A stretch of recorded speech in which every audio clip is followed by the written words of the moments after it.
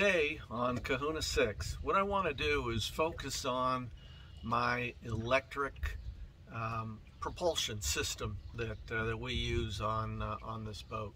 As you know, Kahuna 6 is an all-electric boat, which means there is no propane, no diesel, uh, or, or gasoline. Everything is operated uh, via electricity. And so for my propulsion, I use the e-propulsion Navy 6.0 outboard motor. The Navy 6.0 outboard motor is a 6,000 6, watt uh, motor, which means it is basically equivalent to a 9.9 outboard motor.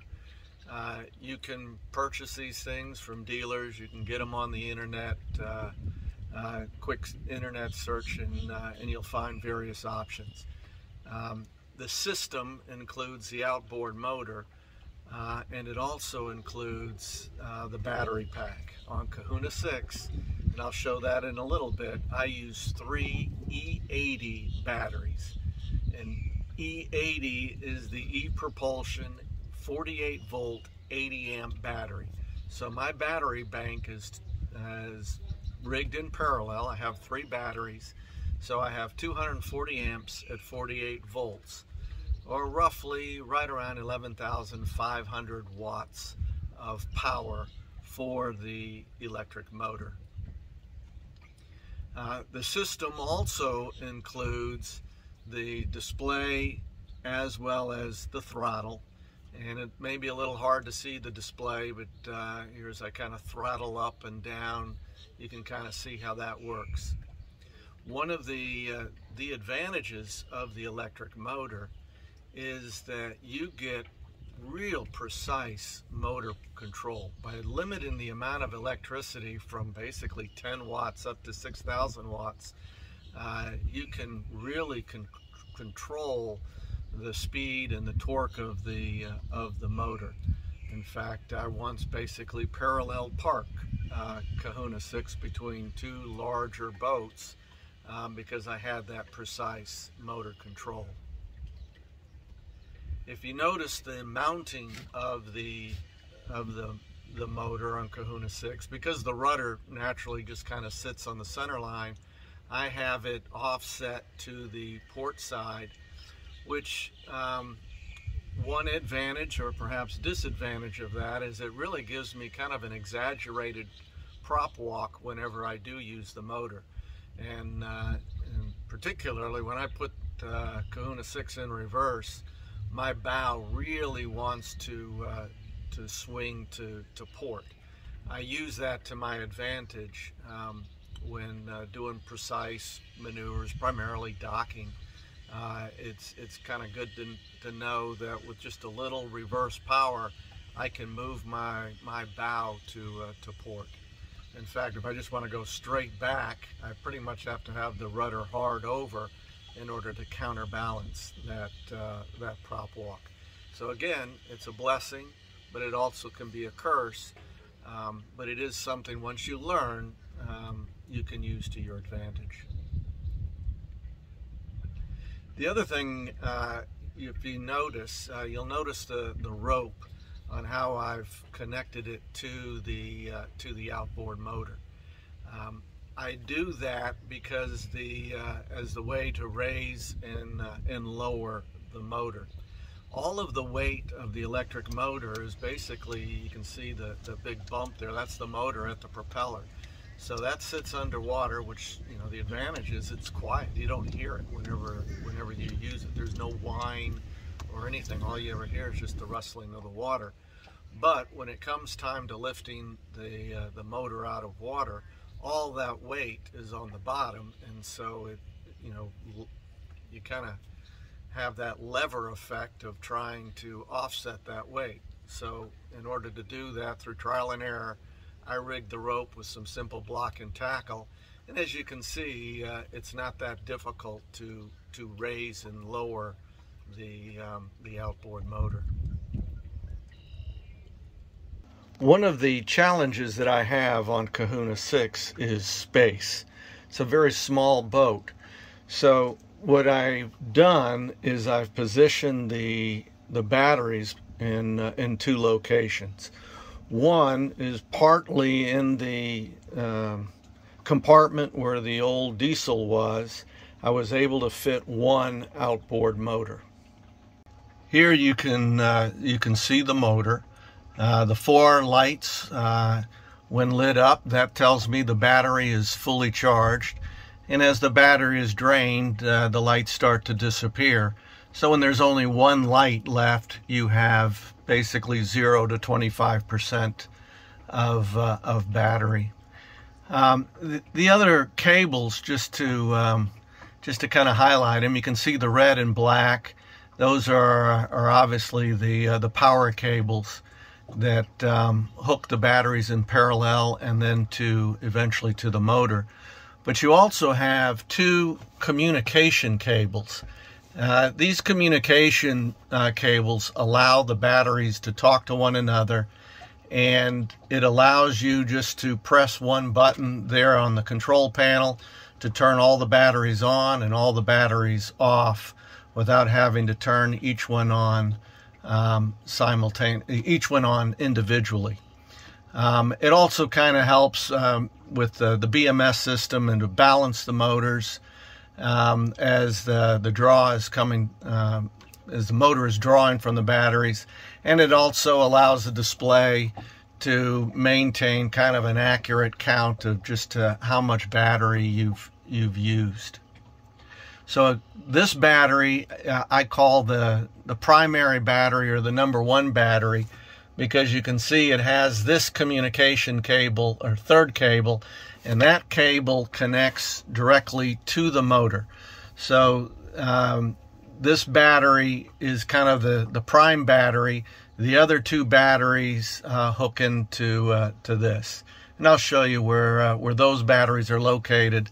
And then I'll talk about rigging uh, batteries a little bit in parallel. Kahuna 6 has a very small head. And um, so where the holding tank was, I've now been able to fit two of the uh, the other E80 uh, batteries. Um, I'm able to do that because I use a, um, a dry flush toilet from Laveo, and I may do a video on that um, separately. But it, bottom line is uh, it does not require a, a holding tank. So I'm able to use that space um, for the batteries.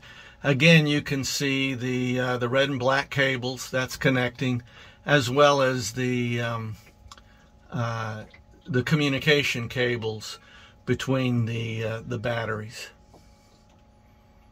I'm going to show this and then I'm going to talk about it uh, on a drawing because it's a little difficult to explain uh, by looking at but um, here you can see the positive bus bar, bus bar with um, um, three, actually there's four cables, one, two, three, four, four positive cables. Um, this is how I'm rigging everything in parallel and then one of those cables runs to the uh, the motor. Um, behind this wall and tucked in the back, it's just too hard to get the camera in there. I have a similar setup for the uh, for the negative side.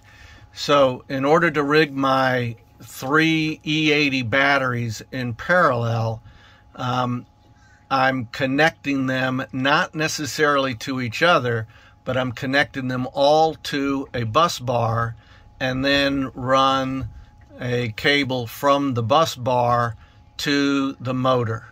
And the reason I do that is to allow for equal draw of all three batteries.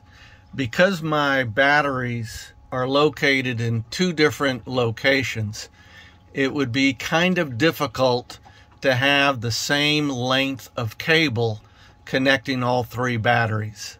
These two batteries that were in the uh, the head, the way they were, uh, were were rigged was you just had a positive going from this number three battery to the number two battery and the negative doing the exact same thing.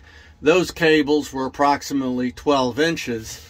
Then you had an, an, another red cable and black cable going from the number two battery to the uh, to the primary battery, those cables were approximately four feet long, and then from the main battery, you uh, we had approximately an eight foot cable running to the motor. Um, having different length of cables connecting batteries in parallel creates inconsistent resistance within the system and actually um, can cause the whole system to fail. In fact, um, on my trip to Clearwater, um, I had that uh, that battery failure. I was able to work around it by um, eliminating the parallel connections and just running the motor off of one single battery at a time. Um, and the reason the system failed was because of the different resistance caused the, the three batteries not to work together in unison, but to start but to draw down at different levels. That started to confuse the BMS, and as a result, they uh, they shut the system down. So the way to get around that when you have batteries in different locations is to rig to a bus bar. And in this case, all of my batteries uh, are rigged to that bus bar with uh, 30 inch cables. And then from the bus bar, I have the eight foot cable to the, uh, to the motor. This way, the resistance is the same because the eight foot cable is drawing power, if you will, from the bus bar that's being fed equally uh, by the three batteries along the same or along the same length of uh, of 30 inch 30 inch cables, and this allows the three batteries to all be drawn down at the at the same level, and um, this is a common mistake when rigging uh, batteries in in parallel. So based upon how you have your batteries, if you have different lengths of cable, um, then you're creating different levels of resist- resistance. And in the case of lithium batteries, um, the BMS may become very sensitive to that, and it's just something to uh, to keep in mind. So let's talk some real world numbers. Um, Kahuna 6, you got to keep in mind, has uh, only an 18 and a half foot water line. So its, uh, its hull speed is essentially a maximum at five and a half knots. So it's a, it's a slow boat to begin with. The, uh, the other thing is it's a very heavy boat uh, with about 6,000 pounds of displacement. Uh, once you throw in another thousand pounds, 1,500 pounds with passengers and cruising supplies, it's not that uh, that uncommon to have this boat weigh in uh, in excess of 8,000 pounds.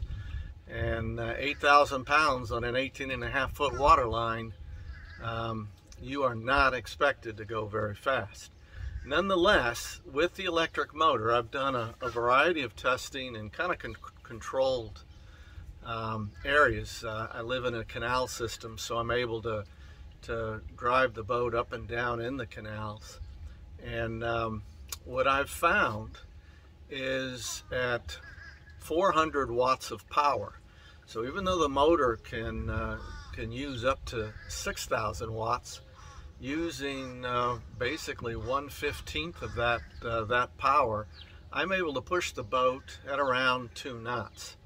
Um, I use that oftentimes to uh, to what I jokingly call electro sailing. I'll have the sails up, but in very light winds where I'm moving, you know, at about a knot, knot and a half, I'll put 400 watts of power into the motor, and now the the boat will move, you know, real close to about three knots, maybe uh, two and a half to to two and three quarters, just kind of depending upon waves and current and um, and the uh, the strength of the wind. Um, at 400 knots, at 400 watts of power, um, I can uh, I can do that for over 24 hours, and uh, it, it, provides you with a, with just a, a, an additional oomph, if you will, to your speed when uh, when there are just no winds to uh, to assist. Um, in the canal, when uh, I go through my channel to, to hit open water, um, I normally will use about a thousand to 1200 watts. Uh, oftentimes it depends on whether the tide is with me or, or against me. Uh, when the tide is against me, using around 1200 watts of power or about one fourth the, uh, the capability, excuse me, one fifth the capability, um, I'm able to move the boat right at about uh, three and a half to three and the 3.6, 3.7 uh, knots.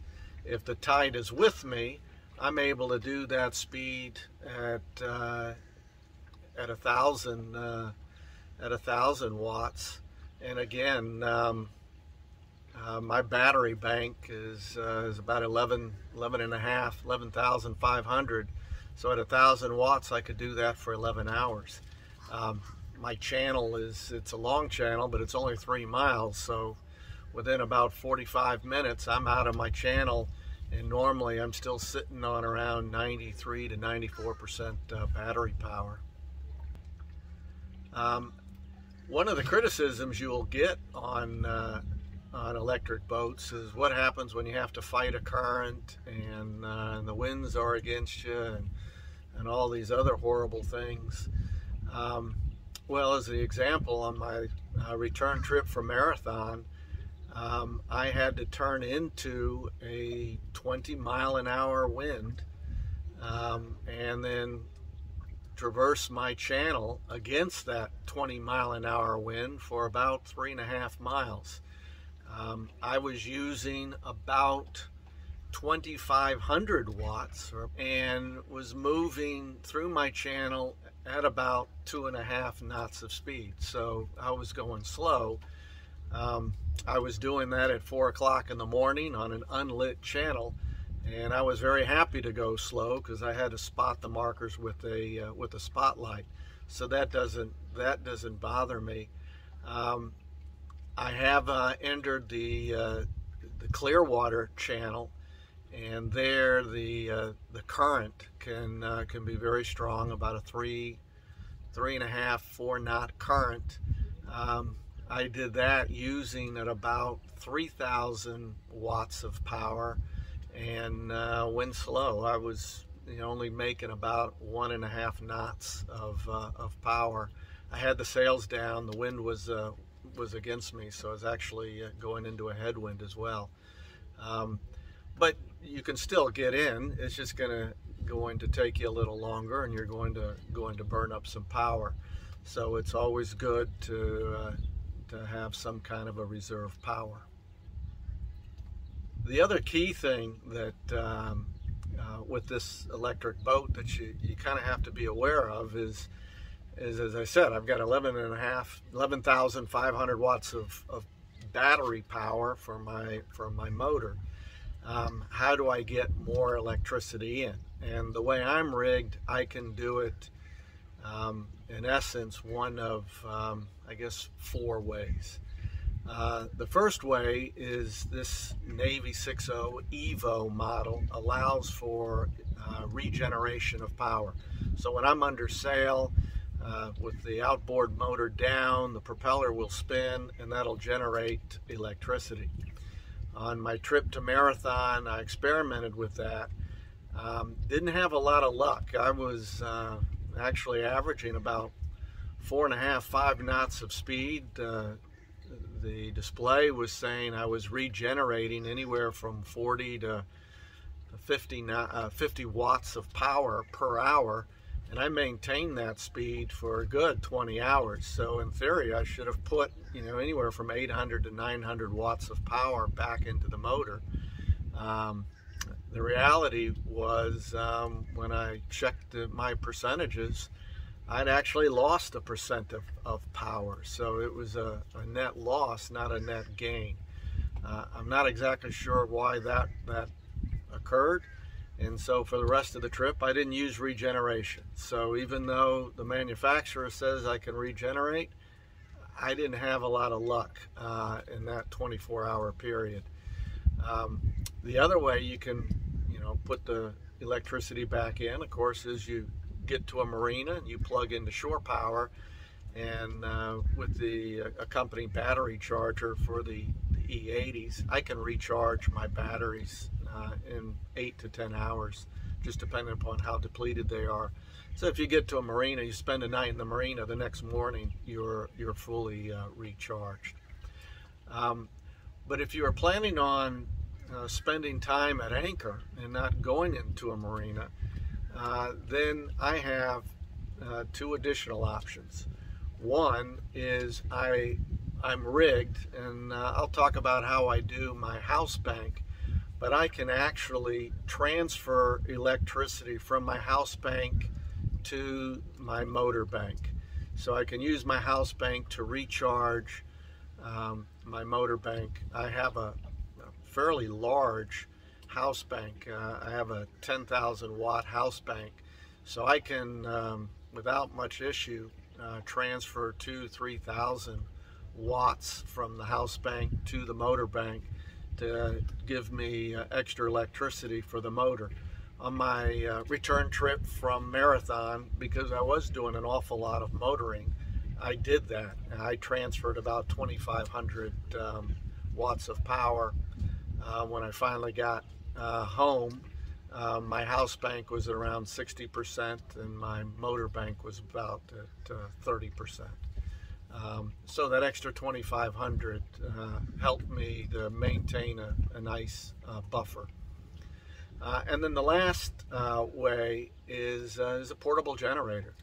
Um, I have a Northern Tool Power Horse 2,000 watt generator um, that when I went to my trip to Marathon as an example, I brought that and two gallons of fuel. So when I say I don't carry any fuel, uh, maybe that's a, a, bit of a, of a, of a white lie. Uh, in this case, I had one gallon of fuel in the generator and, and a gas can, a little two gallon gas can, um, which would give me in essence 12,000 watts that I would pump into either my house bank or my motor bank or any combination of the two. On the uh, 600 mile round trip to Marathon, didn't use the generator at all. So uh, it's there just as an emergency backup, but it is not necessary. So um, again, it, it, just depends on how you want to do it. Uh, multiple ways. Uh, I have I also carry 300 watts of solar um, that's barely enough to, um, in fact, it's actually a, a, little insufficient to cover my daily house bank requirements.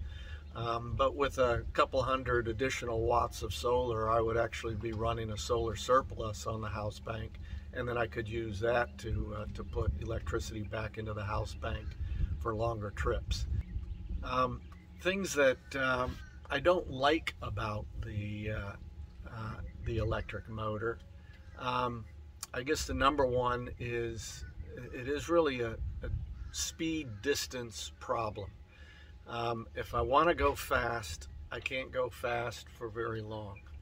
If I um, don't care about the speed, I can uh, go three, three and a half knots for um, for quite a while, for a good 12, 14, um, 14 hours, if you will. Um, I, th I think in an emergency, um, the best I could do is probably travel 50 miles, uh, burning up, you know, electricity from my house and the motor. So if I absolutely had to get somewhere fast against the wind, um, my range is probably limited to uh, to 50 miles given my my setup if I could design a perfect setup uh, for this boat or for a similar boat, 30, 32 footer uh, that weighs, you know, five to 7,000 pound displacement, I would recommend uh, a minimum of a 300 amp battery bank. I have 240.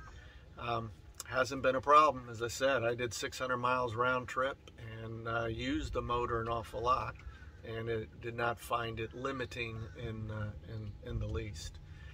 Um, the thing that I, I really love about the motor is the simplicity of it. Um, there are, I, I, should show you my tool bag, um, but I, I just carry a couple of, uh, a couple of general tools so I can tighten loose wires. I do carry a little extra wire to replace a battery cable or something like that, but there's no oil there's no oil filters, there's no water pumps, there's no impellers, there's no wrenches to remove the, the pumps and the impellers.